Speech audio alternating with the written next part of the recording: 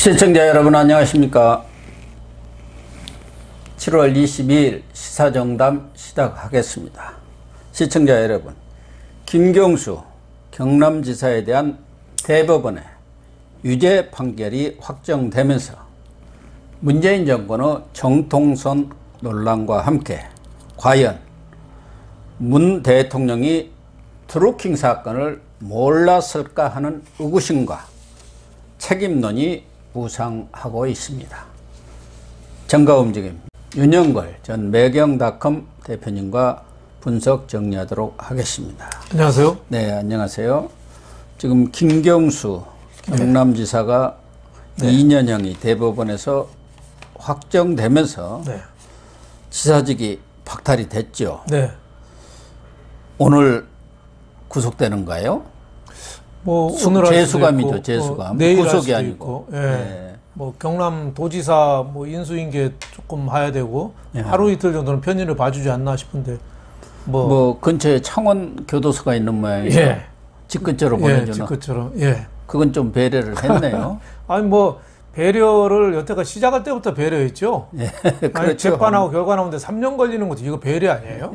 35개월이 걸렸대요. 양심이 있으면요. 벌써 선거 끝나서 음. 지난 4.7 보궐선거 때 경남지사 다시 뽑아야 되겠습니다. 예, 그렇죠. 이게 지체된 정의는 정의가 아니라고 음. 이게 라이언 일병은 구했는지 몰라도 김경수 일병은 못 구한 거죠.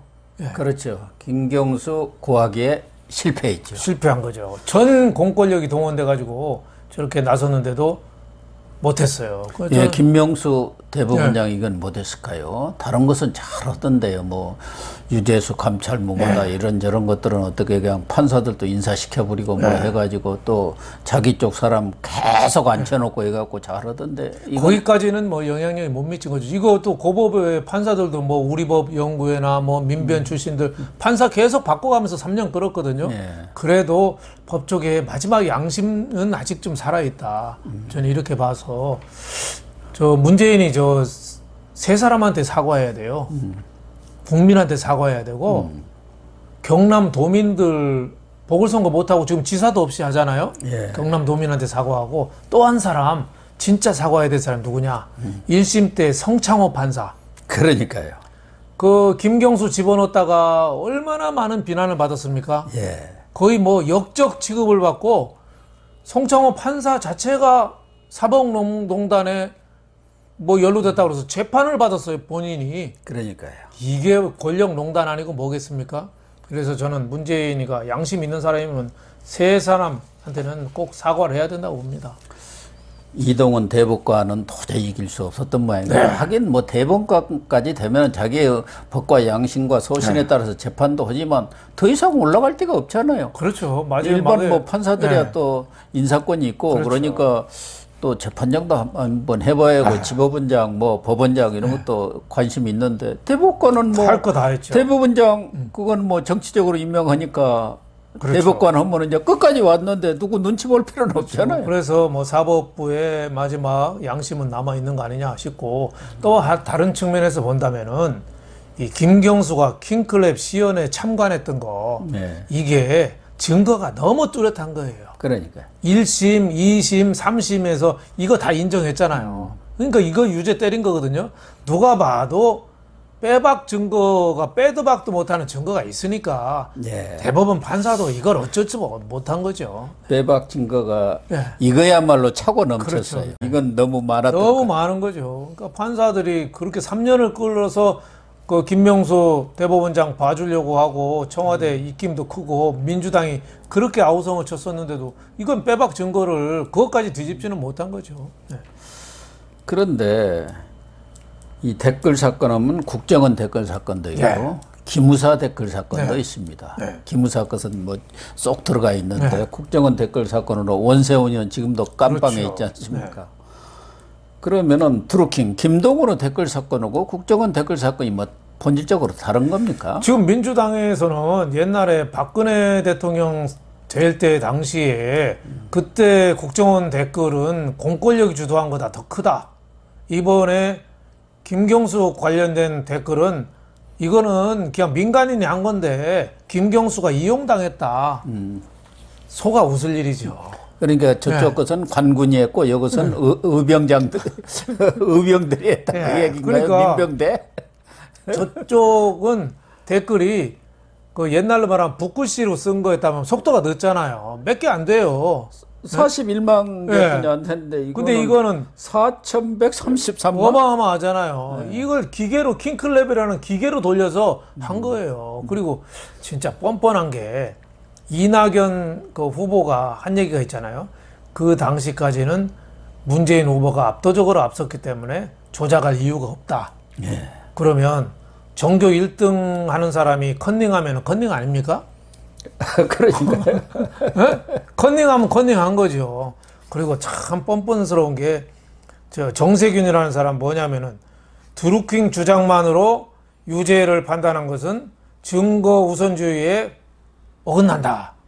아, 왜 드루킹 주장만 했어요? 거기서 김경수가 3년 내에 주장을 한거 아닙니까? 증거들이 웃기는 거예요. 되고 웃기는 거예요. 그러니까 이낙연이나 정세균 이게 총리하고 또 정세균은 국회의장까지 하고 당 대표하고 이런 사람들이 말하는 수준을 봐요.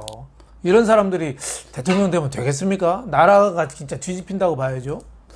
친문 대깨문들한테 뭐 경선 과정이 있기 때문에 좀 아부를 할 수는 그렇죠. 있어요. 근데 네. 이건 좀 좀 정도가 있죠. 정도껏 있- 해야죠. 예, 정도가 있죠. 차라리 이재명이가 그래도 좀 양심적이에요.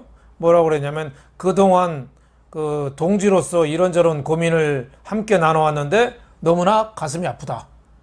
어, 그냥 가슴 좀, 아프다는 정도만 하면 되지. 어, 중립적으로 했네요. 그렇죠. 도둑질 한 건 도둑질 한 거고 나쁜 짓 한 건 나쁜 짓 한 거잖아요. 그거는 인정을 해야 되는데 삼심 재판에서도 인정을 안 하면은 어떻게 합니까? 그 당 대표하고 총리하고 국회의장 한 사람이 이재명이는 자기는 대법원에서 싹 빠져나왔는데 큰 그러니까. 거짓말은 아니고 작은 거짓말은 괜찮다 이런 이상한 논리를 대법관들이 그렇죠. 내 가지고 빠져나왔는데 그러니까 그거는 좀 미안해요. 이재명은 좀 미안하기도 하고 이재명에 대한 거는 평가로 말하면 정성적인 평가인 거예요. 음. 이거 뭐 큰 거짓말은 아니다. 이렇게 할 수가 있는데 김경수는 킹클랩 시연에 참관했냐 안 했냐. 예. 참관하면은 이거는 개입된 거고 아니면 아닌 거예요. 근데 모든 증거가 다 있는 거예요. 본인이 아무리 뭐 닭갈비 먹고 뭐 거짓말 우겨도 이거는 그러니까 빼도 박도 못 하는 거예요. 그러니까 김경수가 우길 걸 우겨야죠. 우길 걸 우겨야죠. 예. 결과적으로 보면 추미애가 참 큰 일을 많이 하는 것 같아요. 추미애가 우리 애국자죠. 예. 예, 윤석열이라는 큰 인물을 저렇게 키워냈고 추미애 없었으면 윤석열 어떻게 나왔겠어요. 아, 노무현 탄핵은 어떻게 됐겠습니까? 그렇죠. 또그 당시에 예. 추미애 그, 그 민주당 그렇죠. 당신 민주당이죠. 노무현 탄핵에 또 앞장서고 예. 또 이번에도 김경수 이건도 추미애 당 대표 할 때 그 평창 올림픽 할 때 이상한 댓글 좀 많이 뜨니까 그거 수사하라. 조직적인 음해 세력이 있다. 이거 빨리 수사 안 하고 뭐 하냐? 더불어민주당에 고, 고발하고 그때 네이버한테도 니네 고발 안 하고 못 하냐고 후려쳐가지고 네이버에서도 고발했잖아요. 그러니까 그 윤영찬이 있을 때 예, 맞아요. 예. 그러니까 추미애가 당 대표 시절이고 김어준이도 그때 이게 뭔가 예. 보수 우파 쪽에서 예. 음모가 있는 것 같다. 예. 거기서 주로 이렇게 그렇죠. 댓글을 달아서 평창 예. 올림픽을 비방하는 것 같다. 이쪽에서 할 일이 그렇죠. 할 택이 없다고 네. 본거 아니겠습니까? 그런데 딱 까보니까 트루킹이 나온 거 아닙니까? 그러니까 민주당은 김두관 후보가 오늘 뭐라고 네. 그랬냐면 네. 추미애는 해트트릭 자살골 해트트릭 선수라고 했어요. 뜻들이 그랬네요. 이- 근데 그때 김성태 예. 지금은 전 의원이 됐습니다만은 원내 대표를 하면서 단식을 했잖아요. 그래가지고 할 수 없이 홍영표 그렇죠. 어, 당시 민주당 원내대표가 네. 허익범 특검을 들어줬는데 김성태가 그걸 또 큰일 했어요. 큰일 했어요. 그때 굶어도 제대로 굶어가지고 예. 그때만 해도 야당이 의석수가 꽤 있었잖아요.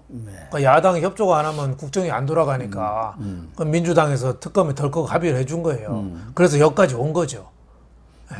황교안이라고 굶었는데 별 얻은 게 그러니까 없었어요. 예. 굶는 것도 목표와 수단이 분명해야 되는 거예요. 그냥 굶으면 배만 고픈 거예요. 네, 그러니까요. 그러니까 김성태가 큰일 한 거예요. 이렇게까지 한 게. 저는 그래서 이게 굉장히 크다 이렇게 생각하고 이게 문재인 퇴임 후에도 이거 때문에 가위 눌려가지고 잠 못 잘 겁니다. 특검이 문재인까지 수사 안 했거든요. 예, 그러니까 지금 문제는 어, 문재인 정권의 정통성 문제가 나오는 것이죠. 그렇죠. 물론 뭐 그쪽에서는 아, 이, 이 홍준표 이 2등하고 차이가 15%가 넘는데 그것 때문에 무슨 어, 당락이 갈릴 것도 아닌데 무슨 정통성 10이냐 이런 얘기가 네. 지금 민주당에서는 하고 있습니다만은 또 나는 과연 문 대통령이 이런 사실을 몰랐겠느냐. 네. 김정숙은 또 뭐냐? 경인선 가자. 그렇죠. 그 트루킹 형제 경인선 아닙니까? 만든 그렇죠. 게. 그때 경인선 가자고. 예. 경제도 사람이 먼저 경인선이거든요. 그게 두루킹 쪽에서 운영하는 거예요. 근데 그때 대선 그 당내 경선할 때 김정수위가 옆에 참모들이 다른 일정 있다고 안내하는데 야, 저 경인선 가야 된다. 경인선 가야 된다. 그걸 두루킹 쪽에서 동영상 공개한 거예요. 그러니까 문재인 김정숙은 드루킹 그 조작에 대해서 상당히 깊게 알고 있었을 가능성이 지금으로 봐서는 높죠. 그러니까 문 대통령이 2012년 대선 때 치고 그때 네. 국정원 댓글 사건 이게 큰 영향을 미친 거 아닌가 그렇죠. 이런 의구심 때문에 그 마음속에 뭔가 대책을 세워야겠다 하고 나온 게 선풀 운동이라는 거죠. 그렇죠. 선풀 운동. 예. 말은 좋죠. 선풀 좋은 옛날에 민병철 예. 그 의학원. 의학연구원 원장이 맨날 주장했던 거죠. 예. 예, 악플 좀 그만하고 선풀하자. 근데 그거를 이제 받아가지고 네. 김경수가 악플로 만든 건가요? 드루킹을 만들어낸 거 아니겠습니까? 그러니까 위선적이고 이중 인격자들이죠. 한쪽에서는 그렇게 조작하고 그때 대선에서 문재인 41.6%, 41.1%, 예. 홍준표가 24%, 안철수가 21.4%인데 안철수가 그때 집중적으로 공격을 받았어요. 예. 예, 안철수가 그때 그 전만 해도 아주 가파르게 올라가다가 거의 뭐 네. 뒤집나 어느 날 갑자기 그냥 깨져버렸어요. 그러니까 이 내가 MB 아바타입니까 하면서부터. 가버린 그냥 겁니다. 그때 그걸 댓글이 많이 가지고. 엄청나게 예. 퍼뜨린 거죠. 그냥 아예 바보가 돼 버렸어요. 그래서 뭐 2등하고 15% 차이기 때문에 그건 뒤집을 수 없었다 하는데 그게 핑계가 됩니까? 그럼요. 예? 그러면 아니, 그 차이하고 불법적인 1억으로 무슨 그러면 어, 관계가 있냐고요. 돈 많은 부자가 사기 쳤으면 사기범 아닌가요? 그러니까 돈이 많은데 뭐가 돈이 필요하겠어 하면 사기범 아닌가요? 돈 재벌 회장들도 다 횡령으로 다 감옥 가잖아요. 예, 그것처럼 문재인이가 15% 이겼다고 해도 그건 뭐 전혀 면피가 안 되는 겁니다. 예. 근데 지금 민주당이나 청와대는 입장이 없다. 청와대는 입장이 네. 없다고 하고 있는데 청와대나 민주당에는 그 판결문에 대통령 얘기는 디귿자도 안 들어갔잖아. 문자에 미음자도 없잖아. 수사를 안왜 했는데요. 우리한테 그래. 나만 갖고 그래. 그거 아닙니까? 입장이 없다가 아니라 염치가 없다 하죠. 입이 없다 입이 이건가? 없다죠. 그러니까 저거 다음 정권 내년 봄부터 또 특검 해가지고 이거 수사 또 해야 됩니다. 그러니까 문재인 대통령에 대한 언급이 판결에 없는 것은 문재인 대통령 관련성을 허익범 특검이 수사를 안 한거안 아니에요? 한 거죠. 예. 안 했으니까 안 나온 거죠. 이것은 김경수 경남지사가 어떻게 개입됐느냐 그 부분만 수사를 했지 그 이른바 윗선 수사 몸통 수사는 안 한 거 아니에요? 거죠. 근데 당연히 개입됐을 가능성이 많다고 보는 거죠. 왜? 음. 김경수라는 사람이 어떤 사람입니까? 그러니까요. 노무현 비서 출신 아니에요. 예. 그러면서 문재인의 어떻게 보면은 복심이다. 예? 문재인의 적자다. 예, 예? 그런. 서자가 아니라 적자라고 그랬어요. 복심, 문재인의 마음을 대변하는 사람이다. 그러니까 시시콜콜 문재인하고 공유하던 사람이에요. 그럼 김경수가 했다면 그건 이코로 문재인도 했을 가능성이 상당히 있는 거죠. 최소한 보고받았을 정도 가능성은 충분히 있는 거죠. 그 증거가 있는지 없는지는 모르겠어요. 하지만 그건 충분히 있고 아까도 말씀하셨지만 김정숙이가 그 당 경선하는데 경인선 가자, 경인선 가자 한 거 보면 드루킹을 몰랐겠어요? 그러니까 예, 당연히 알다고 봐야죠. 그렇다고 보면은 청와대가 입장이 없다고 할 게 아니라 그냥 깔끔하게 사과를 하고 그렇죠. 이 부분은 내 사과로 매듭을 짓자 그렇죠. 아, 이렇게 하는 게발 그럼요. 뻗고 자는 방법 아닌가요? 근데 옛날 그렇지 거기에 네. 남겨놓을 이유가 뭐가 있나요? 군왕 무치라는 말이 있거든요. 임금은 창피한 것도 없어서 아무데나 대소변 보고 막 그러거든요. 그래도 창피한 게 없으니까. 근데 문재인 봐요. 청해부대도 사고 안 하잖아요. 밑에만 혼내요. 백신 주사 뭐 이런 것도 잘못되면은 밑에만 혼내요. 내가 잘하라고 그랬는데 왜 못하냐고. 자기가 잘못한 거잖아요. 자기가 청와대가 컨트롤 타고잖아요. 국군 통수권자고. 그러니까 이번에도 자기가 한 거지만 사과하겠어요? 예. 김경수 보고 내가 너 잘하라고 그랬는데 왜 못해서 저 깜빵까지 가냐고 그러겠죠. 그러니까 이분은 자기가 신이라고 생각한 신. 예? 예. 똑같이 국민이 주어진 5년 임기 대통령이 아니라 자기는 신이라고 생각하는. 그러니까 사과도 있을 수가 없는 거죠. 원희룡 제주시다가 드루킹은 누구 것이냐 뭐 이렇게 얘기를 했대요. 네. 어, 이 사람들이 MB한테 그렇게 네. 주장했던 게 바로 그거 아닙니까? 그러니까 이거는 두고 두고 문재인 아마 양산에서도 편하게 그 주말 농장하면서 못 지낼 겁니다. 이거 수사 계속 되죠. 또 울산 시장 개입 있죠. 뭐 라임 옵티머스 있죠. 또 유재수 건 있죠. 울 월성 1호기 있죠. 그거 하나하나 다 수사할 때마다 왔다 갔다 해야 되거든요. 농사를 차분하게 지키는 자, 좀 차분하게. 지금 그러니까 얼른 씨 뿌려놓고 갔다 와서 잡초 뽑고 들락날락 하면은 굉장히 바쁠 것 같습니다. 예. 일단 문재인 대통령은 임기가 마친 뒤 퇴임 네. 후에 서울과 양산을 부지런하게 예. 오르내릴 것이다 이런 걸로 결론을 내려야겠네요. 그렇죠. 뭐, 예. 전용 뭐 그렇다고 뭐 고속도로를 만들 수도 없고 상당히 뭐 바쁠 거로는 예상이 됩니다. 예.